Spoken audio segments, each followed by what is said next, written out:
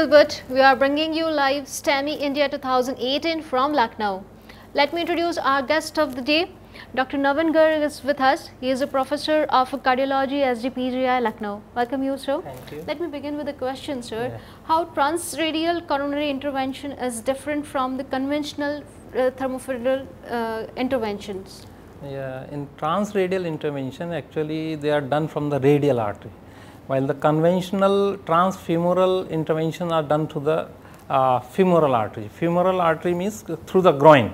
So, if you are doing it through the groin, there are lots of problem to the patient. Patient has to lie down for a long time after the procedure and there are chances of bleeding complication, hematoma formation, pseudoaneurysm formation, access site other complications and AV fistula formation. So, so, there are too many complications of femoral approach. So, if you do it from the transradial approach you can avoid all these complications. And uh, it is not only the reducing the complication rate. A patient can be mobilized immediately after the procedure. That is the one of the main advantage. So patient can go home in the evening or maybe in the next morning while in the transfemoral patient has to stay in the hospital for 72 hour or maybe longer time. And uh, another advantage is uh, patient is uh, can have any posture actually. After the transfemoral approach patient has to lie down in the uh, in the bed.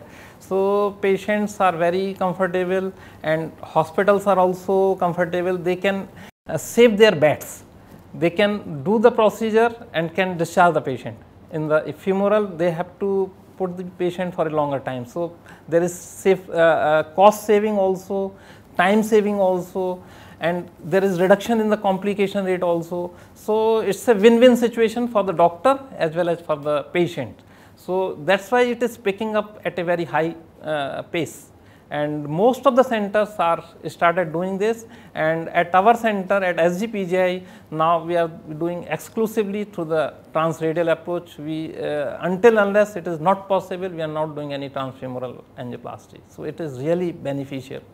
So, what do you think how stem cell therapy can revolution, revolutionize the management of STEM in future? Yeah, sure.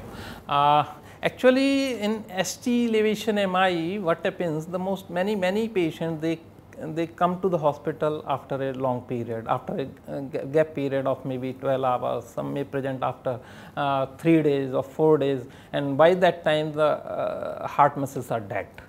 So, and you cannot do much for these patients because heart, heart muscles are dead. And uh, this is one therapy which is giving us some hope. We, we can regenerate the muscles. We, we, uh, uh we have done a one uh, pilot study and then a uh, multi-centric study in India in which we injected a stem cells, patient's stem cell into the coronary arteries and uh, through the uh, transradial approach into the coronary arteries and uh, the results were very gratifying. There was improvement in the uh, uh, ejection fraction means pumping function of the heart and there was improvement in the symptoms, there was improvement in the perfusion. So, so this is one hope for the patient in which you cannot do anything. So, it is uh, really a hopeful situation for the patient as well as for the treating physician. Thank you so much for sharing your views on the STEMI India 2018 platform, sir. Thank, Thank you. you. Thank you.